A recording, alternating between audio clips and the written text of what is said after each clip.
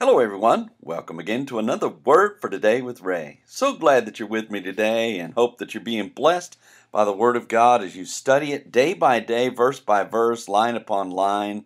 And as God adds His Word to your life, you are going to be so blessed. And that's my prayer. And that's why we spend this time together. It's also why we go to Him in prayer as we begin our study. Let's do that now. Heavenly Father, we do come to you and knowing that you want us to study your Word. By studying your word, we learn about you, we learn about your son Jesus, we learn your ways, and Lord, we want to be filled with your ways. So we ask that you would bless us today as we read again in this book of Philippians. Lord, may the principles that you have within this book come to life through your Holy Spirit as he leads us into all truth and then helps us to live according to that truth. We bless you. We thank you again for your word. We do so in Jesus' name. Amen. The title to today's lesson is A Sacrifice Pleasing to God. It's taken from the book of Philippians, chapter 4, verse 18. Paul the Apostle commended the Philippians for ministering to him in his time of affliction. He noted their giving not because he desired anything from them, but rather that they would have fruit that may abound to their account. In Philippians chapter 4 and verse 18, Paul shares about his fullness, Epaphroditus, and the blessing of their offering to him. We read, But I have all and abound. I am full, having received of Epaphroditus the things which were sent from you an odor of a sweet smell, a sacrifice acceptable, well pleasing to God.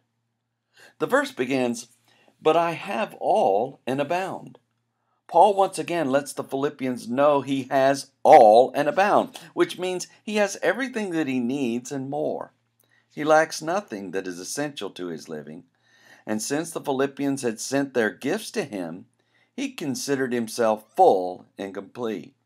The verse goes on to say, having received of Epaphroditus the things which were sent from you. The reason for Paul having all and abound was because the Philippians sent him things by the hand of Epaphroditus, whose name means lovely, whom we previously in chapter 2 and verse 25 met in this letter.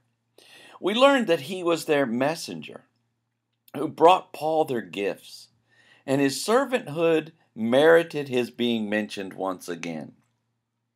Finally, the verse says, an odor of sweet smell, a sacrifice acceptable, well pleasing to God. The idea behind an odor of sweet smell could be one of the things brought unto Paul from the Philippians. However, it is more than likely a reference to the state of their sacrifice to him. Paul said their gifts were a sacrifice acceptable, which means it was a sufficient and adequate offering, which was well pleasing to God. In other words, though the Philippians were sending gifts to Paul, it was as though they were sacrificing as unto God, and the Lord was well pleased with their offerings. As we consider Paul's words, do we realize that when we minister to others, we are actually making a sacrifice unto God? The Lord notes when we make offerings to his servants. And just as the Philippians ministering to Paul brought the label of well pleasing to God, the Lord will be pleased with us when we minister to his servants. Perhaps it will help us to realize that when we give gifts unto the Lord's servants, we are actually giving to the Lord Himself, and He sees our sacrifice as acceptable and well pleasing.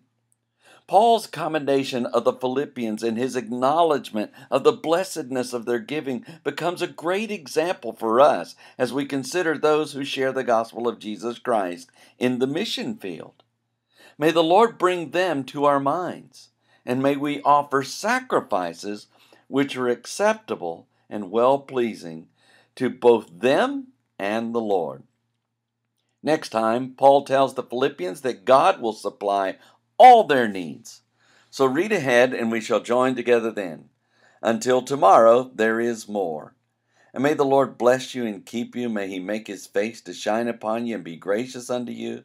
May the Lord lift up his countenance upon you and give you peace as you continue to study his word in Jesus' name.